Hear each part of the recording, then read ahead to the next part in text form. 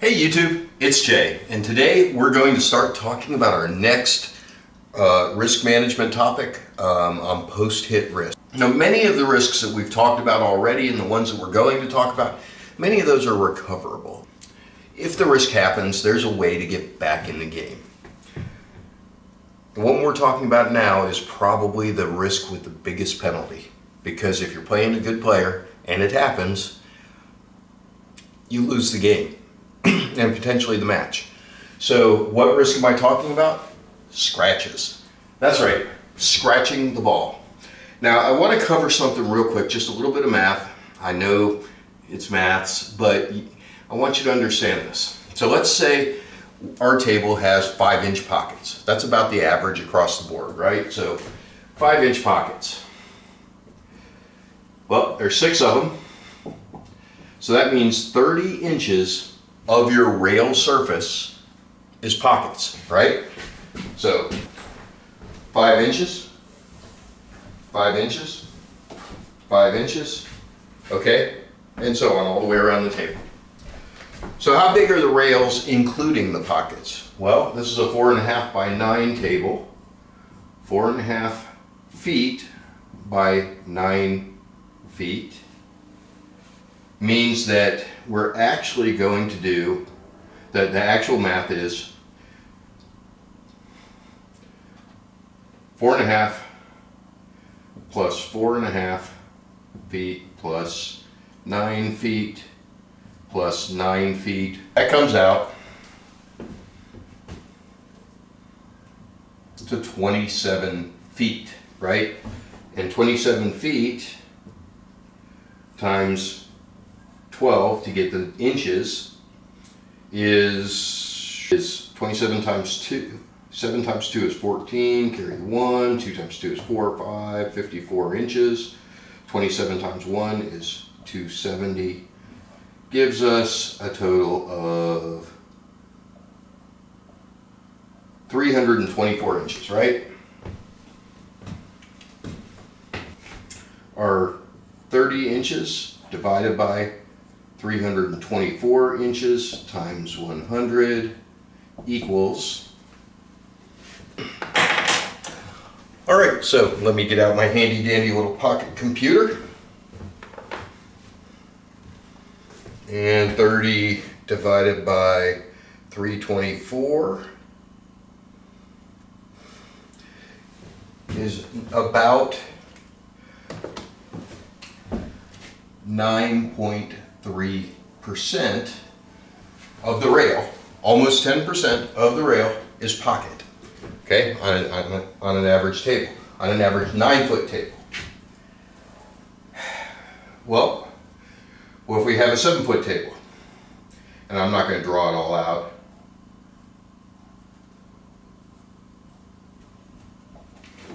so if we have a seven foot table,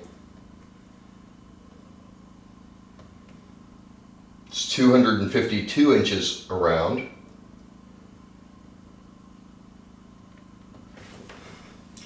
So if we have a seven foot table, now remember the pockets on a seven foot table are exactly the same size as on a nine foot table. Um, so in a three and a half by seven, I'm just gonna do all the math on my pocket computer. Comes out to about 12% of the rail is a pocket. Okay? Um, and for eight foot, it'd be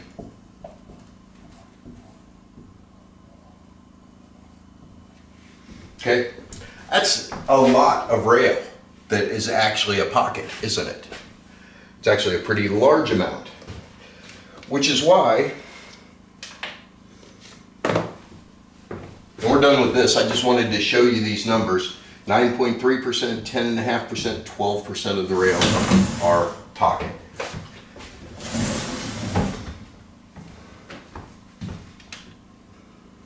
Means for every nine inches of rail, there's an inch of pocket. You ever thrown balls out on the table and just seen that almost no matter how you throw them, they seem to find a pocket somehow? Sometimes they don't, but most of the time, they just seem to find a pocket, right? Doesn't matter where you throw them. If you throw them out there and let them go around the table, they just seem to find pockets. So, if the if the pockets are roughly between 9 and, and 12% of the rails, they're a significant threat. And if we happen to fall in them, we probably lose the game against a decent player, right? I've told you before, pool is a game of control. And giving up control by scratching, you're not only giving up control of the table by letting them on the table, but you're letting them on the table where they have the choice of what to do. And that's what we want to do is take away our opponent's choices. We don't want them to come to the table with choices. We want them to come to the table and having and be in a position where they have to figure out how they're even going to touch the ball, let alone try to make it. Okay? So control. And scratching is a way to lose control. So my rule of thumb on scratching is on, on controlling the cue is that I never want to come in towards a pocket closer than half a diamond on either side of the pocket. Okay? I never want to come in closer than half a, half a diamond on either side of the pocket unless I have very, unless I have a guaranteed non-scratch. Okay, so if I have something like this and I'm going to cheat it, yes, I'm going to hit the pocket, in, I'm going to hit inside half a diamond, but I have absolute confidence in myself controlling that and keeping it out. So coming in towards the pocket inside half a diamond, we have a chance of, of, of catching the point. So we just don't want to do that. Same thing with the side pockets. We don't want to be inside half a diamond on either side of the side pocket. So when we're planning our routes and we're getting pretty close to actually getting into the routes, um, all of our routes, you're going to find that, first of all, the routes are planned around scratch shots. They're planned around well-known scratches. Um, we're going to talk about well-known scratches in just a minute. But all of all the routes that I use to get around the table are all based on well-known scratches and then using spin to adjust so they don't scratch, okay? I am going to be very deliberately avoiding coming within half a diamond of either pocket. This still gives me plenty of rail to work with. And if I'm coming in like this, there's no way to scratch it. Now that doesn't mean that it doesn't come into that rail too close. But we're going to look at these angles when we talk about routes, we're going to talk about how to control it so that even, oops, I scratched. We're going to talk about how even when I'm controlling the cue ball to go wide, okay, you'll notice even when I'm controlling it wide, I'm still coming more than half a diamond from the from the side pocket. I didn't mean to make that, that just went in. Again, pockets are a big part of the rail and things falling in them happen. Um, so, rule of thumb, unless you can absolutely guarantee you're not going in the pocket, just don't come within a half a diamond of the pocket. Stay, stay in the center of the rail, okay? Even better if you stay a diamond in, but half a diamond for sure. All right, well-known scratches. So, what do I mean by well known? Everybody knows that when the ball is hanging in the side pocket, if you hit that with top English, and you're at about a 45 degree angle, that it's just going to run into the corner, right? Everybody knows this scratch. We've all done it. I didn't scratch, but you, we've all done this scratch, right? So, how do you avoid that scratch? Well, so there's there's a rule of thumb that I use on side pocket shots like that. Okay, there's there's a rule of thumb that I use. Let me make this a little wider so you can actually see me talking. All right, so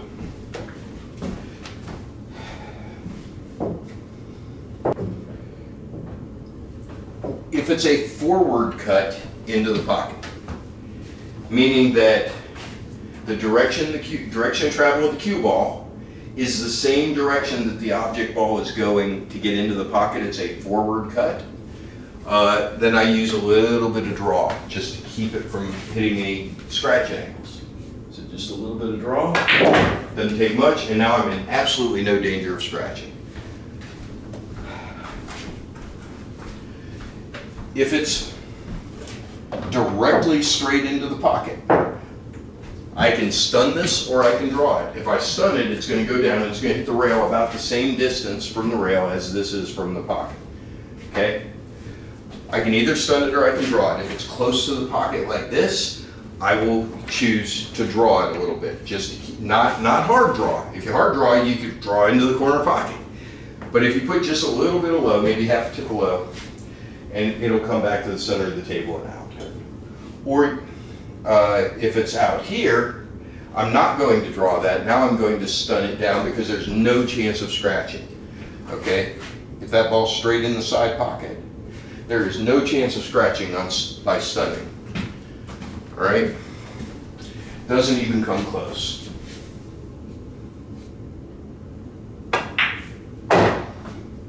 Okay, no danger whatsoever. All right, what about if it's backwards cut? So now your now your cue ball direction is going to be going this way, right? And your object ball is going that way.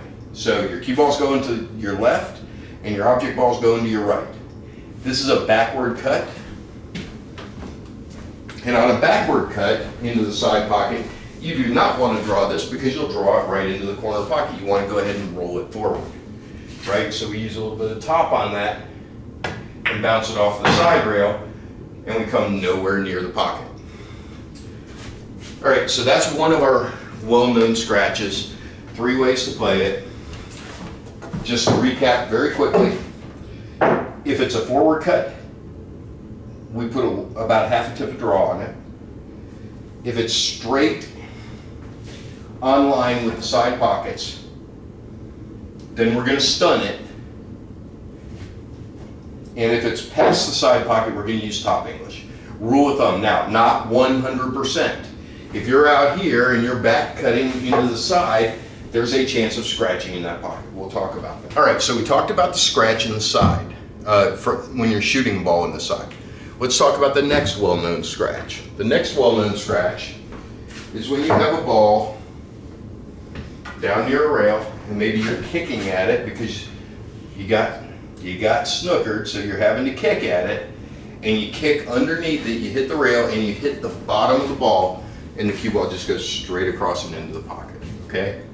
This is a well-known scratch. This one's actually a pretty easy explanation. See how that cue ball is heading for the pocket?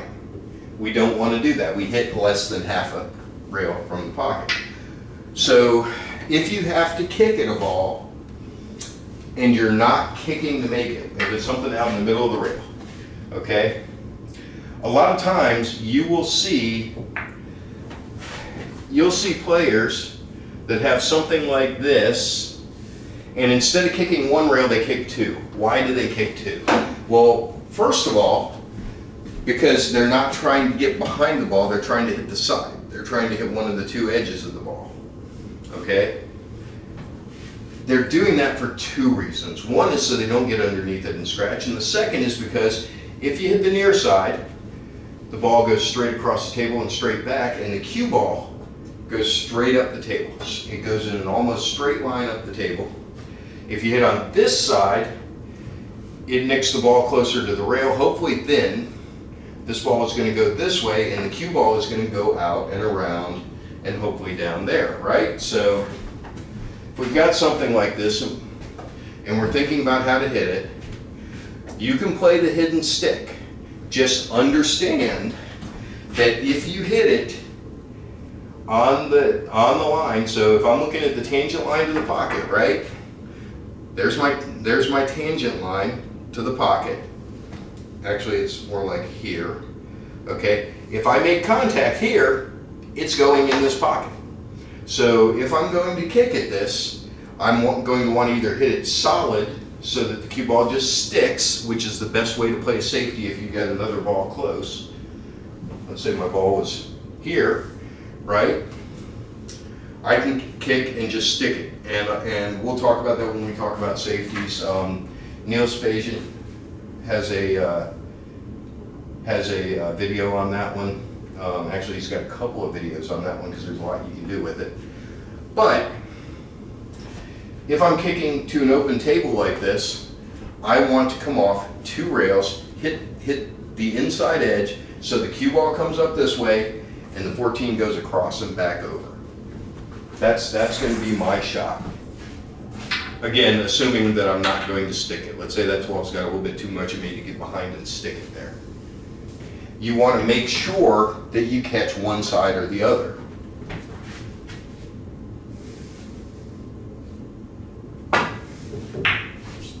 See how that goes straight across and the cue ball comes straight up the table? Hopefully there's some traffic down here to hide behind. But even if there's not, that's a pretty tough cut. All right, so short version,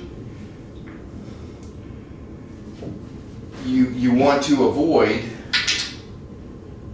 say somebody's got you like this, you want to avoid coming behind that 14 and getting deep in behind it because if you do, that cue ball just runs straight to the corner. Okay? To avoid that, just make sure that you hit it deliberately short, okay? If you've got something like that, don't hit to get all the way underneath. Hit it deliberately to hit the side of the ball. Never try to hit underneath the ball unless you're sticking it. Um, sticking it looks like this.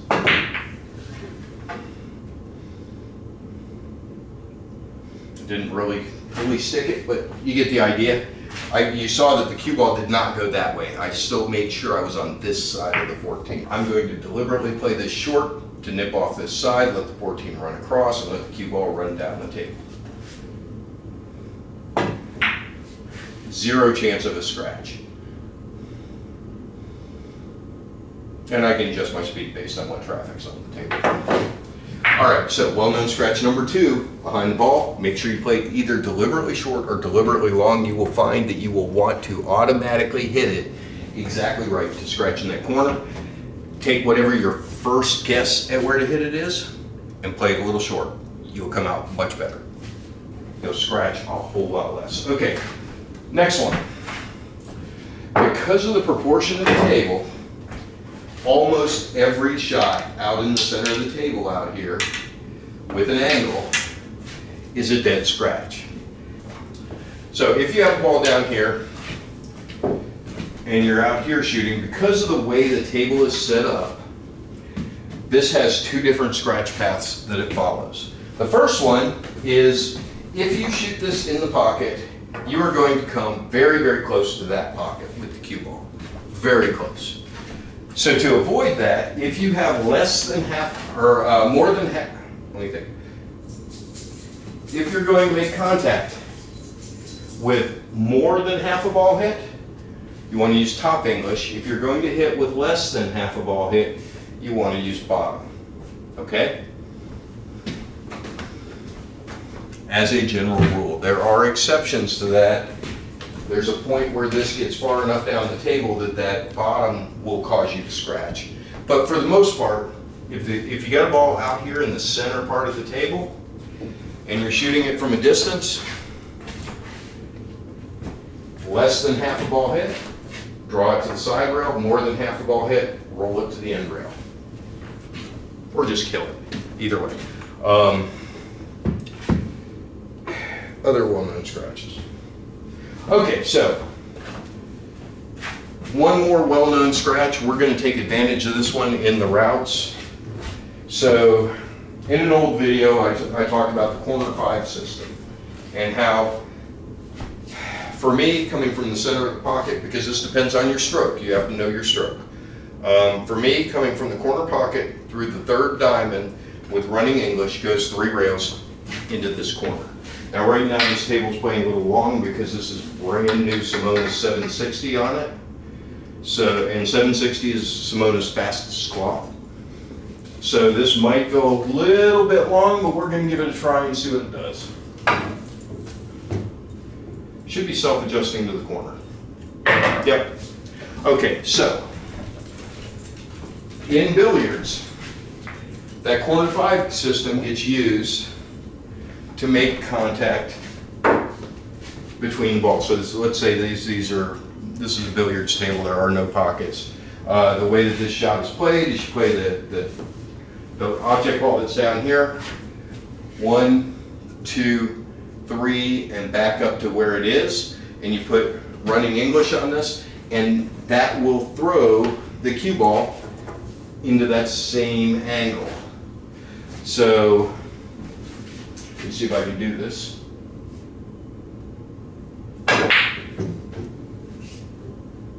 Okay, so there's my hit.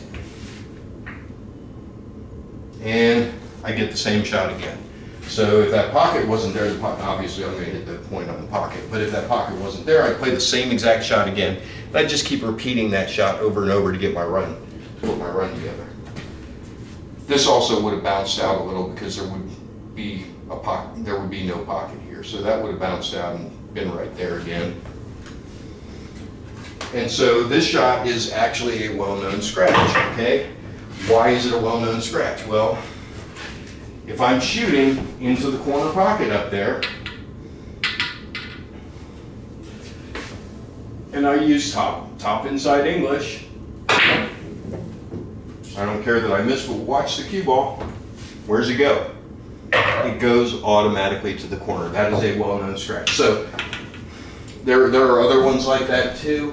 I'm not going to go into all of them. Here's what I'm going to say about it. The number one way to avoid a scratch is not to go to a rail. The number two way to avoid a scratch, so I mean obviously if I don't go to a rail, I cannot scratch, right? It's impossible to scratch if you don't go to a rail. When you're shooting, the worst thing you can do is let the cue ball go. Okay, so what does it mean to let the cue ball go? If you hear if you hear a commentator on a pro match talking about letting the cue ball go, what they mean is, hey, he's got a shot. It's a makeable shot, but he has no idea what's going to happen with the cue. And it's not that he has no idea. I know exactly what's going to happen with this cue ball, but, the problem is that I'm letting the cue ball go. So I'm, I don't have a, I don't have enough of a hit to control my cue ball. I have to let it just kind of go, and I have to count on my speed control to take me where I'm going. And if you let the cue ball go, you know, there are all kinds of different ways to scratch. So you really don't want to let the cue ball go. You would rather take, let's say that's my, my shot now, and my next shot says 15 up here, I'm just making up, putting balls on the table. Okay, if I've got that same shot, right, I'm not going to try to go around the 15. I could, I mean, it's not that hard to get around it and avoid it and get my leave. Okay, so I missed a shot, I know. But you saw I had to let the cue ball go. All kinds of bad stuff can happen. Instead of letting the cue ball go, even if I've got a really thin cut like this where I'm going to have no chance of controlling it, my better choice is to kill it on the rail and just accept that this shot's going to be a little harder. Look how close I came to that side pocket, even killing it on the rail. Just because I had to let it go, I had no choice. I don't know if I'm going to scratch on that shot or not. I have to take my chances. Again, I've got kind of a rolling angle so I can make that ball, but I've got to let the cue ball run around the table. We don't want to let the cue ball roll. Okay, we, if we're going to move the cue ball, that's one thing. Rolling the cue ball and hoping for shape is another thing entirely. Short version, don't, uh, if you don't go to a rail, you can't scratch. Um, but you also may not get your leave. So go, go, we need to use the rails, but just know if you, if you don't go to a rail, it is impossible to scratch. Uh, not hitting the rail closer than half a diamond unless we have absolute control where the cue ball is going to go. Uh, number three, don't run into other balls on the table. Uh, number four, avoid known scratches. Use your knowledge of the scratches. If you see yourself scratch on a shot, right, put it in your mind, hey, this scratches, so that the next time you shoot it, you can either roll forward or, or draw back to avoid the chance of the scratch. Uh, and number five, don't let go of the cue ball. meaning keep control of your cue ball. Even if you have to go around the table, as long as it's controlled, it's okay. As long as you know exactly what that ball is going to do and you're doing it for a reason, it's fine. If you're going around the table and rolling because you got too thin on the shot, you're at a huge risk of scratching.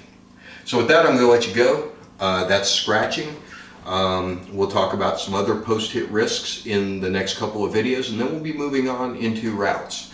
So we'll catch you next time. Thanks for watching. Don't forget, like, subscribe, ding the notification bell. We'll see you next time.